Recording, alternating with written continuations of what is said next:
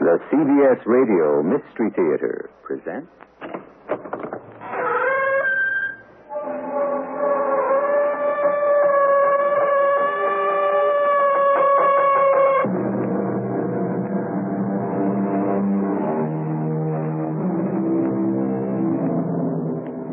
Come in. Welcome. I'm E.G. Marshall.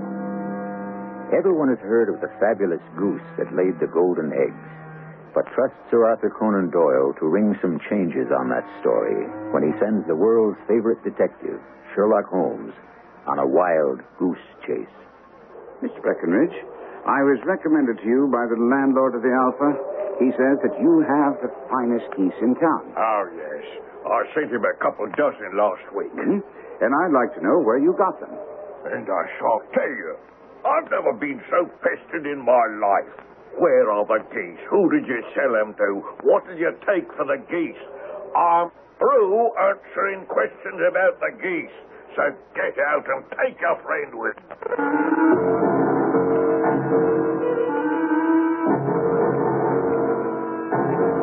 Our mystery drama, The Adventure of the Blue Carbuncle, was adapted from the Sherlock Holmes classic especially for the Mystery Theater by Murray Burnett and stars Kevin McCarthy.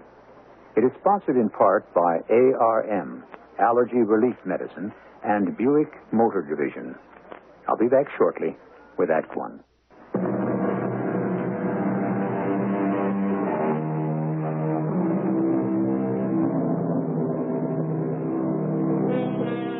So many of the Sherlock Holmes stories begin in that famous flat at 221B Baker Street that we overlook one obvious fact.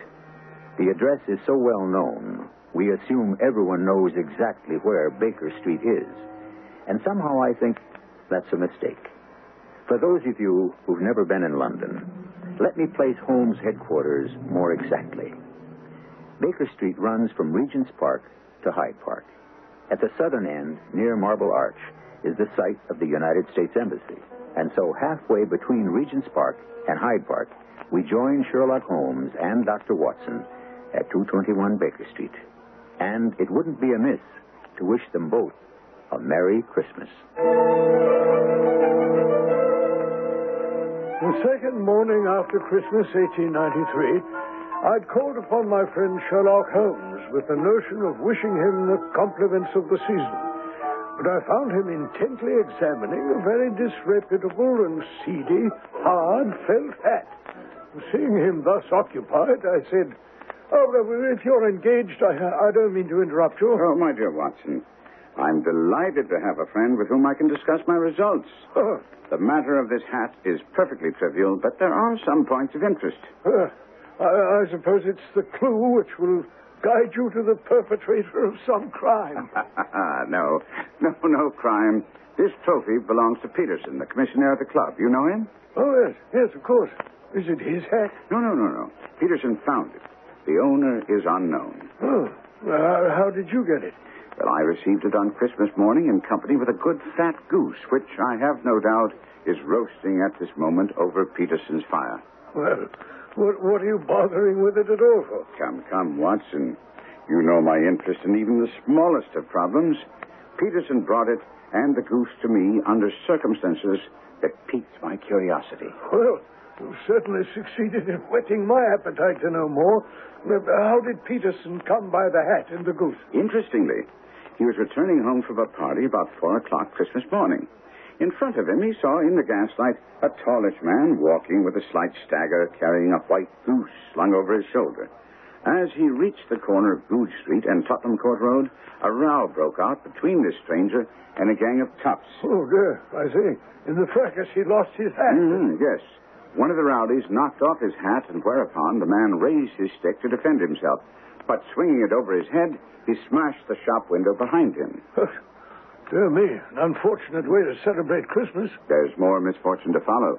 Peterson ran forward to protect the stranger from his assailants, but the man, shocked at having broken the window and seeing an official looking person in uniform rushing towards him, dropped his goose, took to his heels, and vanished. Huh. And the toughs?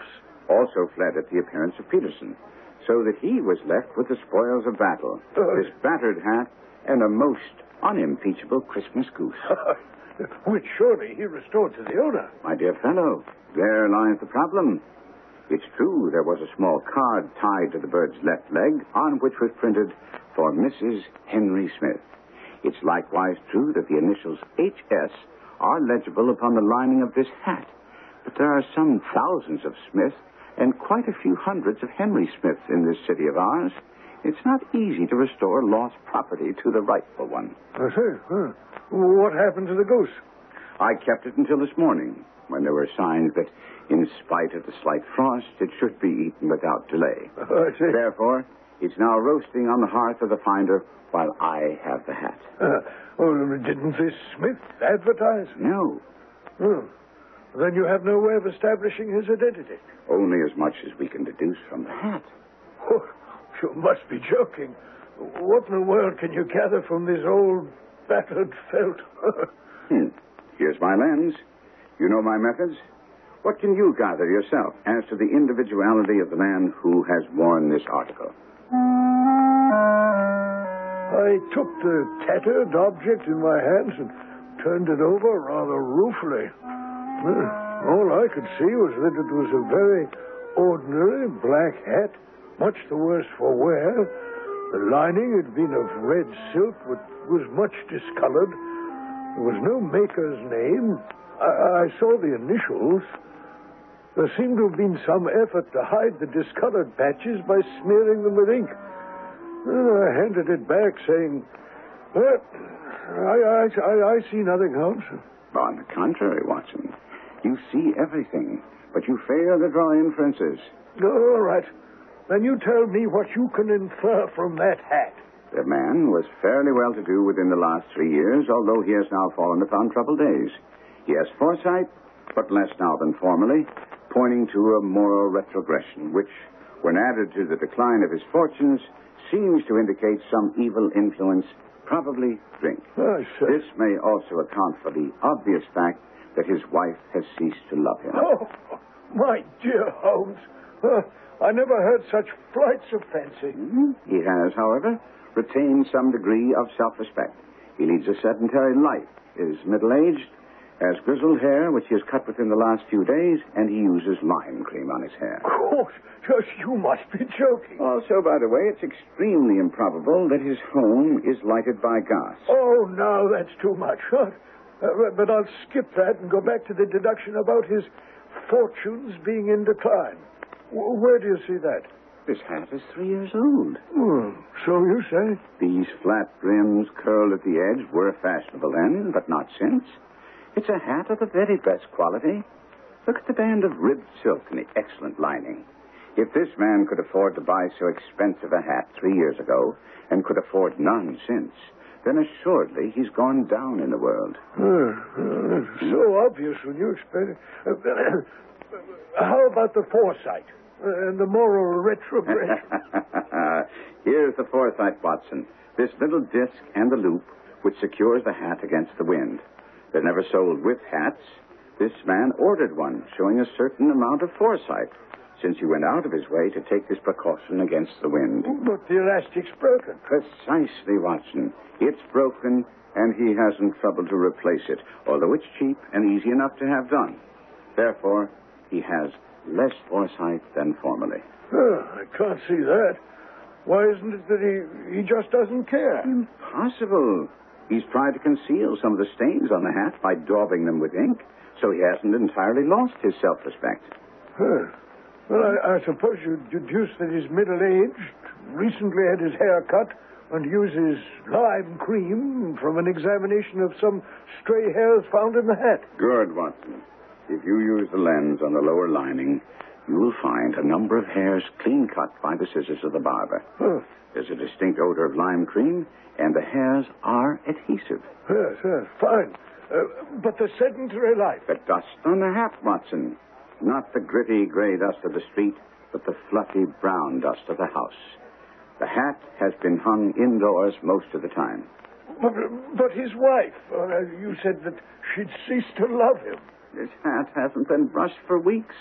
When I see you, my dear fellow, with a week's accumulation of dust upon your hat, and when your wife allows you to go out in such a state, I shall fear that you also have been unfortunate enough to lose your wife's affection. My word.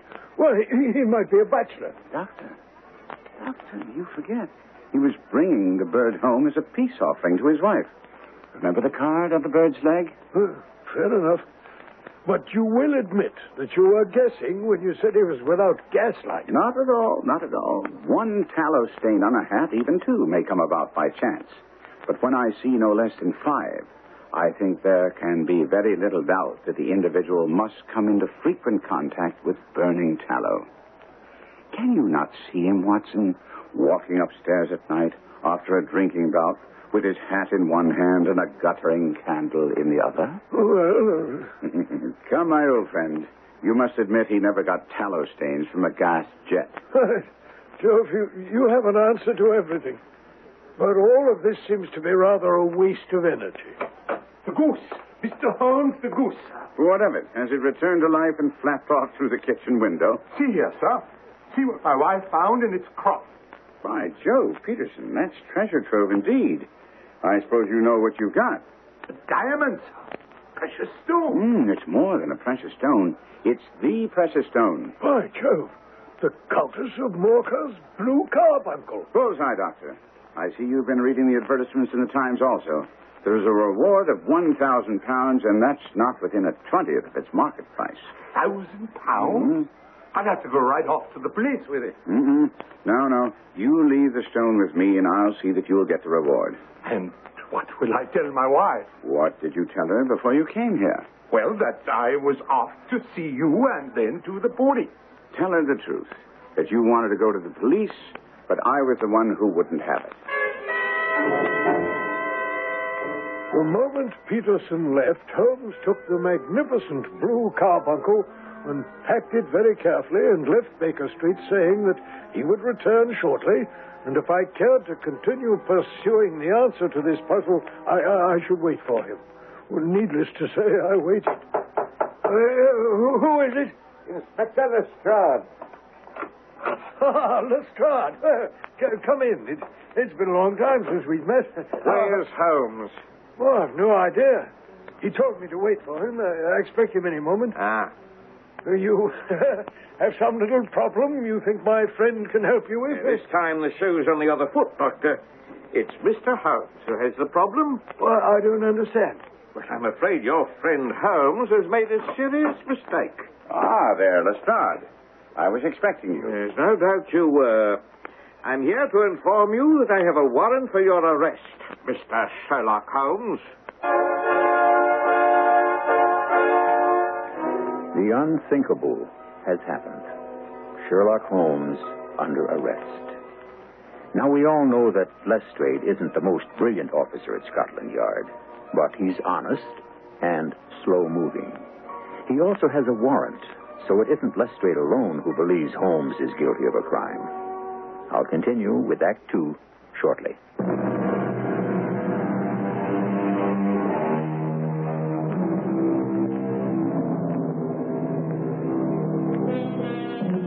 Even the best of us cherish small victories. Although Sir Arthur Conan Doyle doesn't mention it, I suspect that Lestrade, so often proved wrong by the astute Sherlock Holmes, must have felt a measure of satisfaction when he placed the brilliant detective under arrest. Let's continue now and hear Holmes' reaction. come, Lestrade. Come, come. What is the charge? Being in possession of stolen property. Ah, you refer, of course, to the Countess of Morcar's blue carbuncle. Oh, so you admit it. Nonsense. But how would you know what I was talking about unless. Because I know righteous women, Inspector. Meaning Mrs. Peterson? Now you'll admit that's where you got your information from, won't you? Nothing to be ashamed of. She's an honest, law abiding citizen who. Who reacted predictably, and as I foresaw, when her husband told her I kept the stone and asked her not to inform the police. Oh, Now, here, read this note, which, as you will see, is upon the Countess of Morcar's own stationery and written in her hand. As I see from Mr. Sherlock Holmes, Esquire, the blue carbuncle, which was stolen from my suite at the Hotel Cosmopolitan upon the 22nd of December. I have given Mr. Holmes my bank check for £1,000 made out to Mr. Peter Peterson, who was responsible for the finding of the gem.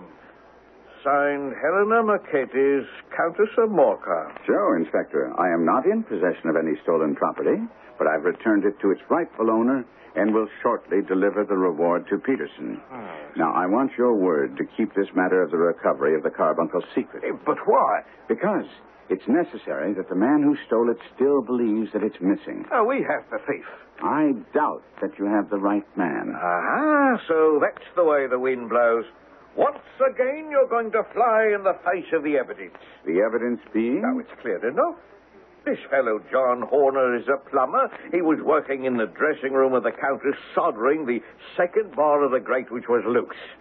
Horner was shown to the room by the upper floor attendant of the Cosmopolitan named James Ryder. Didn't he stay with him? Well, for some time he did. But then he was called away. And when he returned, Horner had disappeared. A bureau had been forced open, and a small Morocco casket lay empty upon the dressing table. Ryder instantly gave the alarm. Uh-huh, and Horner was then arrested in his lodgings, found to have been convicted on a previous robbery charge, and is now awaiting trial. That's it. Uh, what makes you think we don't have the right man? Ah, several things. First, can you tell me how the stone went from Horner into the crop of the goose which Mrs. Peterson was cooking? Uh, not a moment. Uh, no doubt we'll find that out when he confesses. But so far, he strongly protests his innocence. They all do. Hmm? Another question which occurs to me is how did Horner know exactly where the Countess kept the gem? But it seems to me that these are questions that his defense counsel might raise at his trial. But since I'm a police officer, I don't think I have to answer them. Well, suppose that I'm in position of finding a link in the chain. Would you then agree to keep the recovery of the stone quiet? It all depends on whether you're off on some flight of fancy. or- I know for a fact, as you do, that the stone was in the crop of a goose in the possession of Mrs. Peterson. I also know that before it came into her possession, it was carried by a Mr. Henry Smith. I propose to locate this Mr. Smith and find out what part he played in this little mystery. And if I agree, how do you intend to do that? By the simplest means possible an advertisement in the newspapers. And so it was agreed. Lestrade left. An advertisement was placed reading, Found at the corner of Goodge Street, a goose and a black felt hat. Mr. Henry Smith can have same by applying at 6.30 this evening at 221B Baker Street. Now, I did my professional rounds the next day, but was back at Holmes' flat at 6 o'clock. My friend was waiting for me, lounging on the sofa in a purple dressing gown, thoughtfully staring at a plump white goose, which was conspicuous on the sideboard. He waved at it and said, Isn't that a fine looking bird, Watson? Ha! Makes my mouth water. Hmm. Uh, but I presume we're not going to have the pleasure of eating it. Correct. If we receive an answer to our advertisement, this bird will put us a lot farther along the trail to the answer we seek. Ah, you think Horner innocent? Oh, that's putting it a shade too strongly. I'd rather say that the police have accepted all evidence at face value and made no effort to answer the questions I put to Lestrade here yesterday. However, Mrs. Hudson is preparing our dinner, which we shall have at seven, unless we're interrupted. Before we could start dinner, there was a knock at the door. I opened it to admit a tall man in a Scotch bonnet with a coat buttoned up to his chin. Holmes rose from the sofa to greet him. Ah, Mr. Henry Smith, I believe. Oh, yes, that's my name. Pray take this chair by the fire, Mr. Smith. Oh, thank you, uh, Mr. Holmes. It is Mr. Sherlock Holmes, isn't it? Yes, and this is Dr. Watson. I do. Uh, Well, I don't mean to be impertinent, but I'm at a loss to understand how a man of your reputation comes to be involved in a matter concerning a goose and a hat. This is your hat, sir. Oh, yes, yes, sir. Thank you. But since you know my identity, you must also know my disposition for observation and oblige me by putting it on. Oh, of course. Hmm, a perfect fit. Well, sir, we've retained these things for you for some days because we were looking for an advertisement from you giving your address. Well, shillings aren't so plentiful with me as they once were. I believe that that gang of roughs who assaulted me had made off with both my hat and the bird. I didn't care to spend more money in a hopeless attempt to recover them. Quite so. Oh, by the way, about the bird, we were compelled to eat it. Oh, to eat it? Yes, I'm sure that you understand it would have been of no use to anyone had we kept it here for this length of time. Oh, yes, yes, I can see that. However, would this other goose upon the sideboard, which is about the same weight and perfectly fresh, be a suitable replacement for the one you lost? Oh, that, that's very handsome of you, Mr. Holmes, and I'll be very happy with this bird. Oh, oh, oh, oh, one, one more thing. We still have the feathers, legs, and crop of your own bird if you wish to. Uh... well, outside of serving as reminders of my adventure, I see no earthly use for them. So, with your kind permission, I'll just take this excellent bird and be running along. Oh, one moment, by the way. You see, I'm somewhat of a fowl fancier, and I've seldom seen a better grown goose than the one that you lost. Would you mind telling me where you bought it? Oh, not at all. A few of us frequent the Alpha Inn near the museum. Well, this year, our good host started a, a goose club, the purpose of which was to see that all of us, by paying a few pence a week, would each receive a fine goose at Christmas. Well, the rest you know. And once again, gentlemen, my thanks.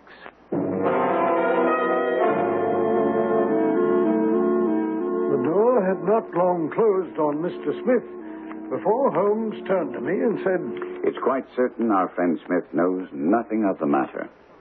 Are you hungry, Watson? No, not particularly. Then I suggest that we turn our dinner into a late supper and follow up this clue while it's hot. Or perhaps we could even get a bite at the Alpha uh, whilst we chat to the landlord. One glass of beer with the genial landlord of the Alpha elicited the information that he'd purchased Smith's goose, along with the others, for the club from a Covent Garden dealer named Breckinridge. When we reached his stall, he was about to put up the shutters for the night. Mm, good evening, Mr. Breckinridge. Uh, Cold night. you must have some reason to be out in it. No, I see you sold out of geese. Well, let's have 500 tomorrow morning. I'm afraid that won't do. Well, there's some in the store yonder with a gas flare. Ah, yes, but you were particularly recommended to me Who by? by the landlord of the Alpha. Oh, yeah, yeah. I sent him a couple of dozen. Fine birds they were, too. Now, where do you get them? Now then, mister, out with it, and you'd better make it straight. Well, straight enough. I should like to know who sold you the geese you supplied to the Alpha. And I'm not telling you. Now be off. Why should you be so warm over a trifle? If you were as pestered lately as I am, you'd be warm too. When I pay good money for a good article, there should be an end of the business. But every day it's, where are the geese? Who did you sell the geese to? And what would you take for the geese? Then I have no connection with other people who've been making inquiries. Uh, But I'm always willing to back my opinion on a matter of fowls, and I have a fiver on it that the bird I ate is a country uh, bird. then you lost a fiver for its town bred. It's nothing of the kind. Now, you think you know more about fowls than I, who've handled them ever since I've been a nipper? I tell you that all those birds went to the Alpha were town bred. You'll never get me to believe that. Ah, now, since you seem to be a betting man, would you care to make a wager on the matter? Oh, I'd just be taking your money. But to teach you not to be obstinate, I'll put a sovereign against you. you may as well hand me the sovereign now. Bill, bring me the books. And when I have a Mr. Cocksure, I'll prove to you that there's still one goose left in my shop, and that's you. oh, thank you, Bill. Now, this book lists the names of all the folk from whom I buy. Mm-hmm. Oh, yeah, yeah. On this page here are the country folk, and their numbers after their names are where their accounts are in the big ledger. Now then, uh, ah, you see this page in red ink? Hmm? Uh, that's a list of my town supplies.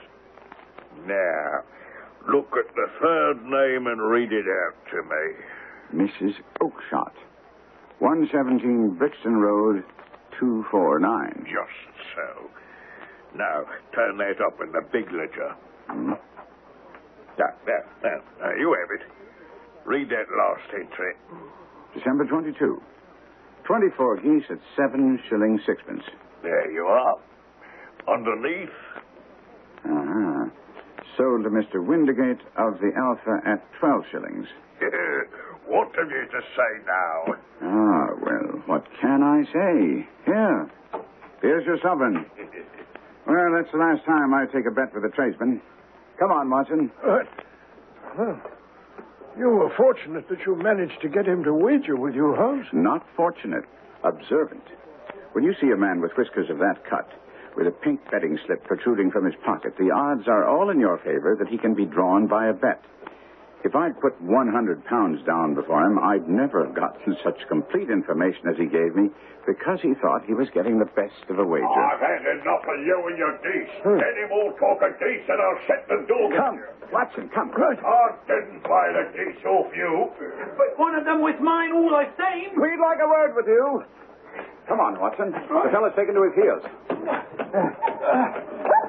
George, that chap runs like a hare. He won't get away, and it'll be worth your while to talk with us. Tell the smasher that I can't give him what I ain't got. But I'm still trying.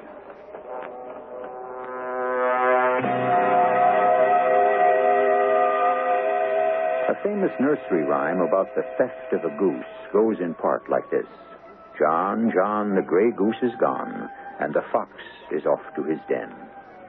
Although not strictly applicable in this Sherlock Holmes tale because we're not sure who the fox is, nevertheless, we'll track him to his den when we continue with Act Three.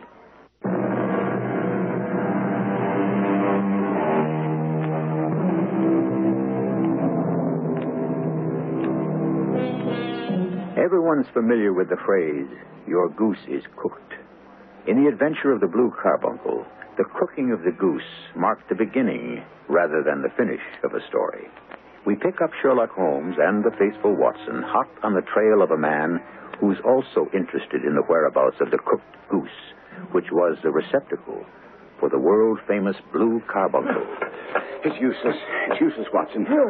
We've lost him. Ah, Time to stop using our feet and start employing our brains. I'm happy to hear that, Holmes, because to tell the truth, I'm, I'm not in the best of shape for running through the streets of London. Wh- What do we do? Hmm? Follow up two clues that have been given to us. The Smasher is an infamous name in the London underworld. Oh, I have ways of reaching him, and. and Mrs. Oakshott? No, not quite yet. We've discovered where the goose was grown. Now, I think we should set about checking where it fed. Left my friend to go to my home, but made an appointment to have dinner with him the following night. Much to my surprise, when I arrived, I found Inspector Lestrade of the yard sitting opposite Holmes. Lestrade had a long face. Watson, the inspector superiors at Scotland Yard are expressing some concern over the fact that they may look foolish if it turns out that they have once again arrested the wrong man. They're much more concerned of our rowdy disturbance at the Hotel Cosmopolitan this morning. Hmm. What has that to do with me? Now, cap off it, Mr. Holmes. I know what a marvel you are at disguises, and I'll bet my last copper that you were one of those toughs that got into a disgraceful brawl in front of the hotel today. Indeed, Inspector. And can you advance any reason why I should be involved in such a fracas? Because you're still poking around about the Countess of Morcar's blue carbuncle. Well, I'm convinced Horner is innocent. And I'm hoping that I'll be able to marshal enough facts for you to render me some assistance. Ah, you admit you need our help. In this matter, definitely. And uh, what do we get out of it? I think I can promise to save you and the yard some embarrassment in the matter of the man now in jail. Uh, first, I'd like to know what you want from us. I want you to pick up the smasher. The smasher? Hmm? On what charge? Doesn't matter. Anything that will hold him overnight. Use the brawl at the Cosmopolitan. He wasn't there. But two of his boys were. Ah, so you were the other man. No, that's of no no moment now. What is important is that the smasher should be out of the way tonight. Why? Do you think this smasher took the carbuncle? At the moment, I have only suspicions. What I do know is that the smasher is involved. Else, why would two of his tops be posted at the Cosmopolitan entrance? Most of the people who stay at the Cosmopolitan are wealthy. The smasher might have had some other reason. Granted. But the fight didn't start until they found out someone else was inquiring about Mr. James Ryder. Oh? Ah, who quite coincidentally called in sick today. He was not at work.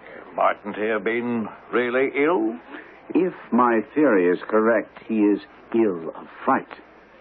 I think Mr. Ryder knows something that the smasher wants to know.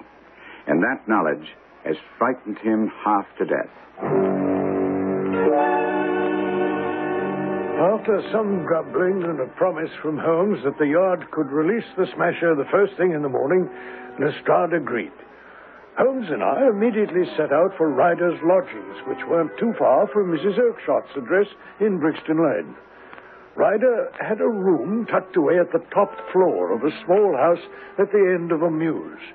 As we approached it, Holmes warned me. Now keep a sharp eye out for anyone loitering around the entrance, Watson. Huh, you think the smasher has some of his men watching the house? I think it's a distinct possibility. I'm not concerned about them watching. I just don't want them preventing us from entering. Ah, there they are. Oh, yes. Follow my lead now. I don't want you getting any wrong ideas now, mister. My sister's a very refined gal. Not the sort you can play tricks with. She's used to gentlemen. You understand? Uh, uh, you told me all that in the pub. But I don't have any wrong ideas. I'll, I'll behave in a proper fashion. We weren't challenged as we entered, and whilst we were climbing the stairs, Holmes complimented me. You did well out on the street, Watson. Just enough to throw them off the scent if they had instructions to stop anyone who might be looking for Mr. James Ryder. Here we are. Who's there? My name is Sherlock Holmes. Open up. What do you want? I can be of assistance to you in the matter that's troubling you. Well, well, well, what do you know about it? I know everything about it. How do I know this is a trick to get me to open? You're interested in geese, or rather one goose, white, with a black bar across its tail, which was sold to Mr. Windigate of the Alpha Inn and given by him to Mr. Henry Smith. Oh, sir, you're the very man I've longed to meet. I can hardly tell you how interested I am in this matter. Well, c- come in quickly. These elaborate precautions for your safety won't be necessary, Ryder. The smasher's in jail. And that's where you'll be very shortly, unless you tell me the few things I need to know to make my case complete. Oh, for Lord's sake, have mercy, sir. Don't have me thrown in jail. Think of my father. Think of my mother. Oh, please, sir, have mercy. I'm thinking of John Horner, the innocent man you put in the dock for a crime he didn't commit. I leave the country. I, I won't give evidence against him. Then the charge will be dropped. We shall see. First, I will tell you that I have almost every link in my hands and all the proofs a prosecutor would need. So I'll be able to check you if you lie. Oh, I promise, sir. You shall have it all. Very well. Now, you decided to steal the stone. When and why? Well, I, I wanted to get married. You see, Catherine Cusack and Mm, her ladyship's waiting maid. Oh, yes. Well, we. Well, I was mad for her, and, and she said the only way she'd have me was if we had a nest egg to set aside. Then she told me where the Countess kept the gem, but I could see no way for us to get it and, and not be suspected until I heard about Horner. Indeed, Ryder, there's the making of a very pretty villain in you. When you learned that Horner, the plumber, had been mixed up in some such matter before, you laid your plans. You and your confederate created some small job in my lady's room, knowing that Horner should be sent for. He did the job, left, then you rifled the jewel case, raised the alarm, and had the poor soul arrested. Yes. All this I know. Now, how came the stone into the goose, and the goose into the open market, and how did the smasher get into the picture? The truth now, for that's your only hope. But after Horner had been arrested, it seemed to me I'd best get away with his stone at once. For I was afraid the police might take it into their heads to search me and my room. A pity they didn't. Well, I wish it had never happened.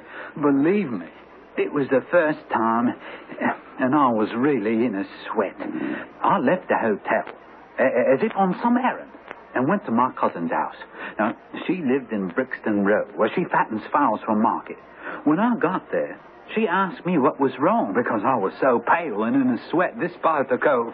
Well, I told her I had been upset about the robbery in the hotel. Then I went into the backyard and smoked a pipe and wondered what was the best thing to do. hmm And that was when you got the idea about the goose. No, no, no, no, not at first. I was thinking about how to turn the stone into money. I knew I'd have to have help, and, and that's when I thought of the smasher.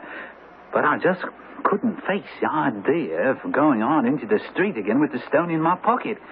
Well, I saw the geese waddling about, and I remembered my cousin had promised me to pick of her geese for a Christmas present. Mm-hmm. Then it was then that you got the ingenious idea of secreting the stone in the goose. Well, Mr. Holmes, I was sure I'd found a perfect hiding place. I drove one of the birds behind a little shed in the yard, cut it, and pried its bill open, and pushed the stone down its gullet as far as my fingers could reach. The bird gave a gulp, and I knew it had swallowed the stone. But the creature flapped and struggled, and, uh, and out came my cousin to see what was the matter. As I turned to speak to her, the bird broke loose and fled off among the others. Ah, so you were, so to speak, a gone goose. Well, I didn't think so at the time. My cousin and picked out another bird for me, but I remembered the bird I had. A, a big white one with a barred tail, and I insisted that that was the one I wanted. Had you kept your eye on it? Well, as well as I could. My cousin was a little hot because I wouldn't take the bird they'd expressly fattened for me. But anyway, she told me to go ahead and take my bird and turned and went back into the house. Mm-hmm. So you wasted no time, but slaughtered the bird, and then? Well, then I slung it over my shoulder and went about getting to see the smasher. I'd heard of him about the hotel. So you're the shrimp what's been asking for me, eh? All right now. What's it all about? Well, I, I, uh, I've got something I want to dispose of. Yeah, something hot, huh? I, well, I, I guess so. It's, well, You lifted something. well, yeah, as you might say. I want to know how you heard about me. You know a man named Monley? Of course I do. He's doing five to ten in Pentonville. How do you know Mondley? Well, he used to work where I do. The Hotel Cosmopolitan.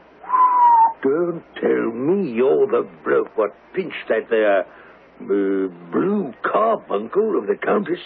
I am. Well, now, maybe there's more to you than meets the eye. You got it with you? Yes? Let's have a look. Uh, hold on a minute. You have to understand, this is. Well, I'm I'm not really experienced at this sort of deal. How does it work? like clotted cream. Smooth as a whistle. 70% for me and 30 for you. Well, well, that seems like an awful lot for you. Look, mate, I'm the one who's taken all the risks. Now, let me see the stone. What is it? Right, yeah? In the goose. In the... like I said before, maybe there's more to you than appears on the surface. Here, take me knife. Oh, thank you. Now, it should be right here. In the crop. Uh, what kind of a game are you trying to play, Shrimp? Well, well it's got to be here. I, felt it go down. I know it's here. Stop messing about with that bird and tell me what you really did with the stone. Well, well, it's been a mistake. I must have taken the wrong bird. I'll say there's been a mistake. Let me go. I know the likes of you. You didn't like the split, so you're thinking of talking to Tyndall. No, no, no, no. I never hit Tyndall. I swear. I just got the wrong bird. Oh, let me go. I'll go back to my cousin to get the right one. Oh. All right, mate.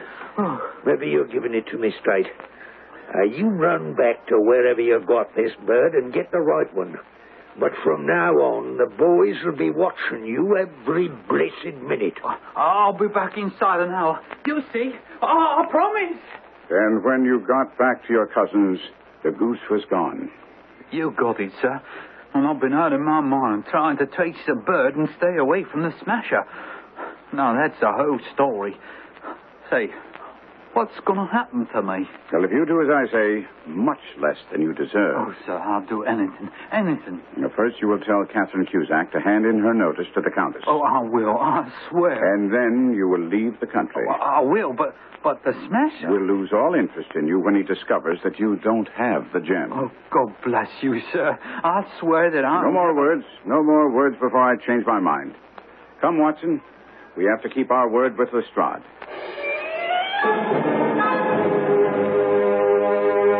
After informing Lestrade that he could release the smasher and that the case against Horner would be quietly dropped when no witness would testify, Holmes and I were walking slowly back toward Baker Street. he must have read my thoughts because he said, And don't be disturbed because you think I've compounded a felony by not handing Ryder over to the police.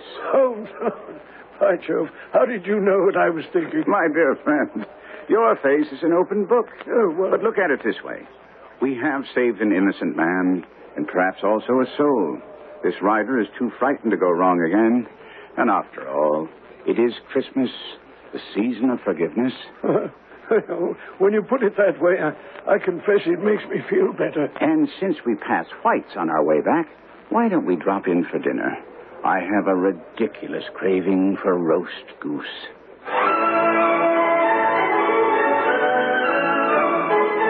So it seems that Charles Dickens isn't the only English writer who wrote a Christmas story. Although I'll admit that Ebenezer Scrooge is better known than Sherlock Holmes for celebrating the spirit of Christmas. I'll be back shortly.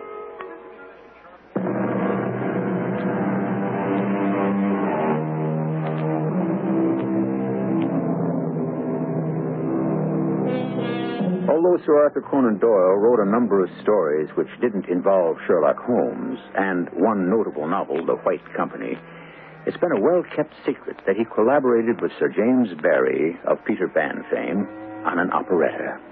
I wish, although I know it's in vain, that someday someone would put it on so that we could see just what kind of librettist Doyle was. Our cast included Kevin McCarthy, Court Benson, William Griffis, and Lloyd Battista. The entire production was under the direction of Himan Brown. And now, a preview of our next tale. He's recently moved here from New York, hasn't adapted to the diplomatic way of doing things. Well, let's get this over with. Okay. Come in, Sergeant. I think I've got our first real lead. Miss Reed? No, no, forget her. She's the scrupulous type. Drives 40 miles to return fountain pens. It's Lomas. I see. First, you want me to put a tail on Miss Reed and check Simpson's bank account, and now it's Lomas. I think he knew Simpson was going to shoot himself. The case is closed, Fritz. What? It's closed, Sergeant Mangle. Who's this? This is Barney Judd. He's from the Department of Defense, the Pentagon. So what gives? You mean you guys are taking over the investigation? There is no more investigation, Sergeant. But you gotta listen to me. Radio Mystery Theater was sponsored in part by Contac, the 12 hour allergy capsule. This is E.G. Marshall inviting you to return to our Mystery Theater for another adventure in the macabre. Until next time, pleasant dreams.